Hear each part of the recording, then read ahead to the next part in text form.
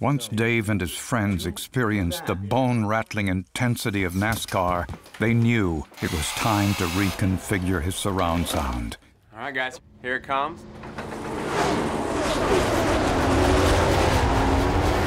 Fifteen thousand watts later, they realized that if everything was more like NASCAR, everything would be more awesome.